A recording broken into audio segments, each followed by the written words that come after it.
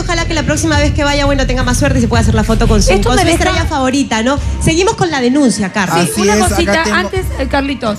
A mí me- esto me deja muy sorprendida. Porque esto de quitar la cámara lo hemos visto en dos o tres artistas en los últimos años en nuestro país y a veces, bueno, ya perdieron los papeles.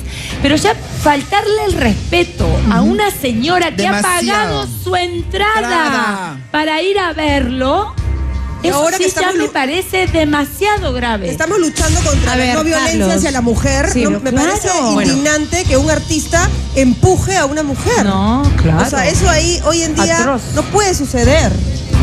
Sigamos con la denuncia que tenemos. Aquí tenemos la denuncia de la comisaría de Puente Piedra. El ciudadano Mirko Soto Murguía, 30 años, denunciado que el día de hoy, a horas 16 aproximadamente, en el local Jaguar Toro de Puente Piedra, con la finalidad de grabar la corrida de toros, se iba a llevar a cabo en dicho local, ya que el artista invitado era Pavón, ah, José Antonio Pavón Galán.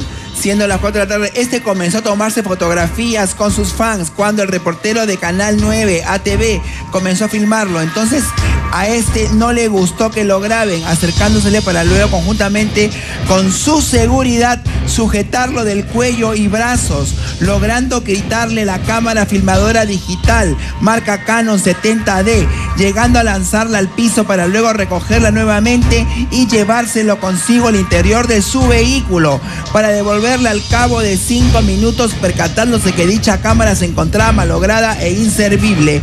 El denunciante refirió que durante el forcejeo le causaron hematomas en el brazo izquierdo. Asimismo refiere, refiere que dicha cámara está valorizada en 1.700 dólares americanos, lo que denuncia a la Policía Nacional para los fines de ley. Muy Aquí bien. está. Este es un documento policial, así que esperaremos que, que pase acá, porque eso es una cosa seria. Al final ya cuando hay un documento policial, hay una denuncia, bueno, hay, hay algo que decir después, ¿no?